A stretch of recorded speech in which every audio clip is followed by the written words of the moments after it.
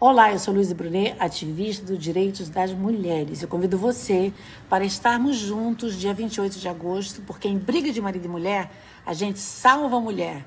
E esse é o intuito. Eu estarei em Porto Seguro, na Bahia, para um evento da Comissão da Mulher da OAB, da subseção de Porto Seguro, com a parceria com a Procuradoria Geral do Município e a Secretaria Municipal de Assistência Social. Bom, pela manhã eu estarei realizando a primeira caminhada pelo fim da violência contra a mulher. E é claro que eu gostaria de levantar um exército para caminhar comigo, de mulheres, dos homens e todos juntos de branco às 9 horas da manhã na Praça do Relógio, todos de branco, porque branco é paz.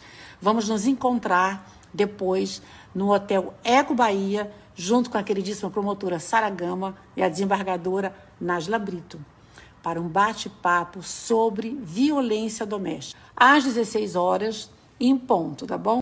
Agora, agosto é o mês da consciência pelo fim da violência doméstica e pelos direitos das mulheres também e pela justiça para as mulheres. E é muito importante que a gente se posicione quando vê uma mulher sofrendo violência doméstica, porque isso é crime. Então, diz que 80. Eu espero vocês para a gente falar sobre esse assunto.